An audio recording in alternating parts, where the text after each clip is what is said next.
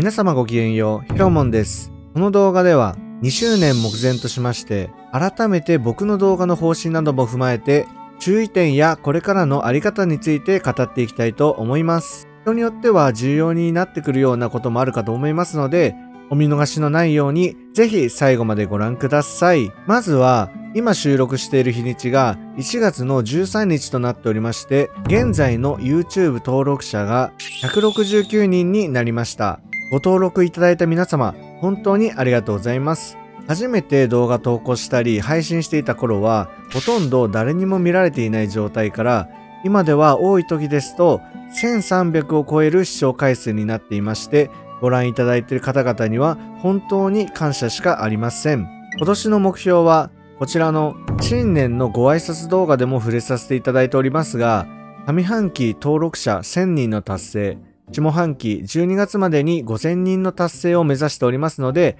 応援していただけると嬉しいです。一緒にアサルトリリープロジェクトを盛り上げていきましょう。こちらの新年のご挨拶動画では、僕の熱い思いなんかも語らせていただいておりますので、まだご覧になられていない方は、ぜひ一度ご覧になっていただけると嬉しいです。続きまして、こちら。先日アンケートを取らせていただき、結果が出ましたので共有させていただきたいと思います。22人の方にお答えいただきましたね。ご回答いただいた皆様ありがとうございます。こちら見てみますと、やはり2周年まで温存するっていう方が大半を占めてますね。僕もそうする予定ですけど、ほんと苦渋の決断でしたからね。素材が美味しい明けおめガチャを見送り、初登場の特殊特大ダメージ持ちのメモリアを見送って、2周年にぶっ破するわけですので、とんでもなくうまうまなガチャが来ることを期待したいところですね。片方だけ回すって方は、ある程度は課金覚悟で2周年も回すって形なのでしょうかね。課金できる方は、それが一番正解かなって気はしますね。どちらもほんとかなり熱いですからね。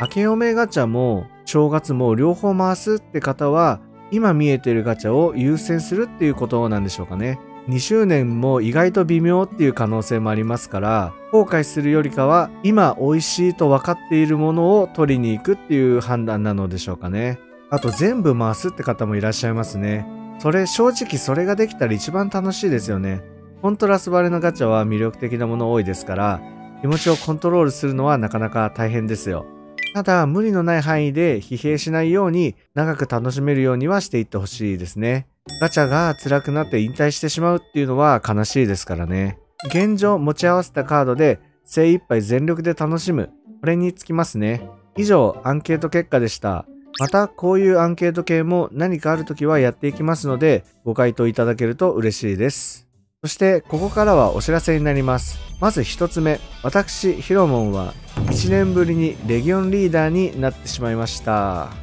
やろうと思ってではなく、僕が所属していたレギオンの隊長様が、他のレギオンを探すと言って旅立たれてしまったのです。解散するかどうかの相談もなく、バイバイのスタンプだけ残していなくなりやがったわけですよ。嘘やんって感じでしたけど、それだけならまだしも気づいたら僕にリーダー権が譲渡されてて、できれば登録者1000人いったら、まあ、それを記念して自分でレギオン立ち上げる予定だったので、それまでは控えたかったんですけど、まあ今から他のレギオン様探すのも手間ですし、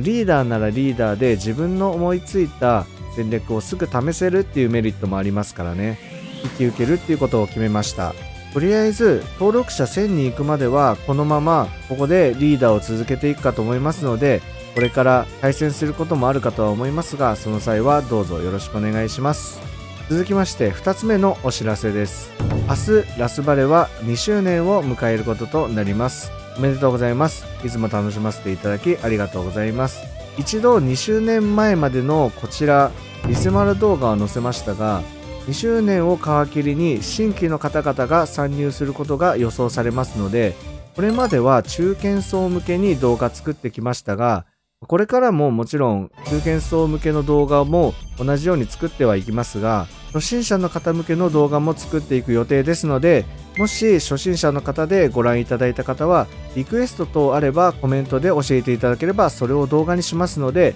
遠慮なくバシバシ送ってきてください。中上級者の方も初心者の方にはこういう情報あったら嬉しいんじゃない？みたいな気づき等ございましたら教えていただけると嬉しいですこれを機に初心者の方が快適にプレイできるように精一杯サポートしていきたいと思います。続いて3つ目。こちら最後のお知らせになります。今回これが一番重要な内容になっていきますのでよろしくお願いします。現在僕がアップしている動画の中でこちらのレジェンダリーバトルのものがあるんですけどこちらで多くの反響をいただいておりまして僕の作っている動画の中で一番価値提供できてるんじゃないかなっていうふうに思います。それ自体はすごい嬉しいことですし作ってる甲斐があるんですけど今後視聴者の方がもっともっと増えてきた時に物理的にランキングに影響を及ぼす可能性がございます。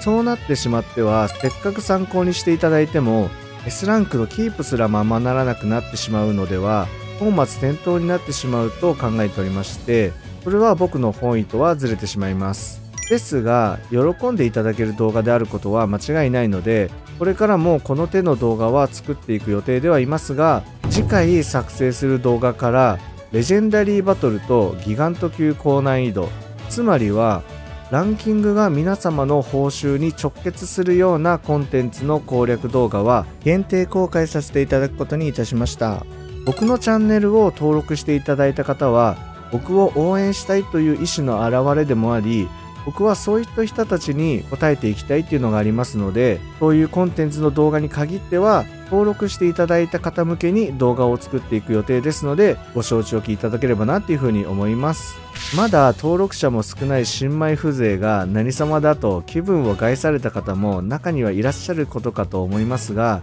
やはり僕は根底にアサルトリリープロジェクト全体を盛り上げていきたいっていう思いがありまして現在ご登録いただいている方々はそういった僕の考えに賛同していただけてる方だと思いますし、そういった方たちのために動画を作っていきたいと思いますので、どうぞご理解のほどよろしくお願いいたします。お知らせは以上になります。まもなく2周年がやってきますが、皆様楽しむ準備はできてますでしょうか？どんな情報が明日飛び出すか楽しみで仕方ありませんが、皆様も明日をワクワクしながら一緒に2周年を迎えていきましょう。明日は2窓必須にはなってしまいますが、2周年の公開生放送を一緒に見るライブをやっていく予定ですので、一緒に2周年の盛り上がりを体感していきましょう。お時間ある方はぜひ遊びに来ていただけると嬉しく思います。ということで今日の動画は以上になります。これからもアサルトリリーに関する動画を上げていきますので応援していただけると嬉しいです。チャンネル登録や高評価もお待ちしております。一緒にアサルトリリープロジェクトを盛り上げていきましょう。それでは皆様、ごきげんよう。